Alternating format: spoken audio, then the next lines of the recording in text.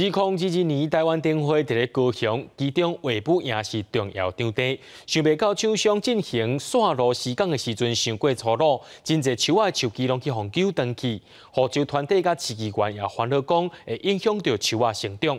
即马观光局也已经要求厂商要先暂停来改善。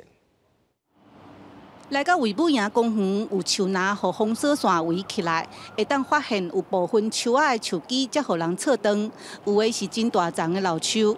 这是观光局发包每年台湾灯会工程，部分光线已经戴好啊，不过距离树根较无一公尺，引起护树团体批评。你为什么要去挖地板，然后挖一个两米深，然后现在的伤害，哦，大概已经挖了三四公里了，听说还有六倍长。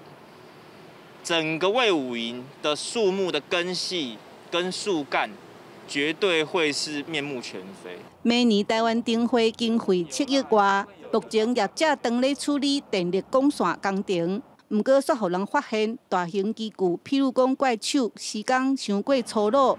议员第二会嘛质询观光局长，他根本就不是被修剪，他是被扯断的。老榕树也一样，哈，就是。也是这这个应该有几十年树龄的榕树，就一样被粗暴对待。我们立刻就去了解，当然目前树木是没有受损，可是我们当天就要求厂商停工了。关公局就表示，业界的做法确实不妥当，未来会征询专家的意见来改善。其实后树团体当日调查维武营的老树，才调查四分之一，就至少有二十七丛，因嘛想要赶紧提报，才会当保护这的老树佮生态。记者邓亚文、王伟泽高雄报道。